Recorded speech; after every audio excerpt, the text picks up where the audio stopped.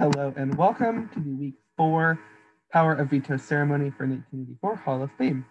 This week, Sam won the Power of Veto and can choose to either veto Chris or X off the block or leave his own nominations the same.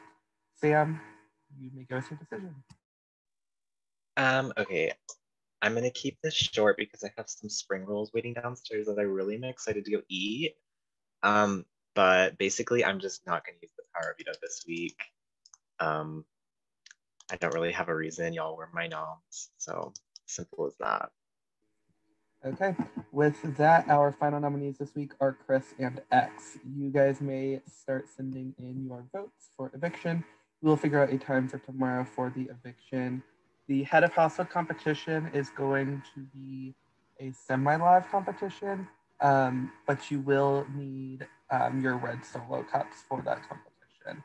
With that, that is all I have for you guys.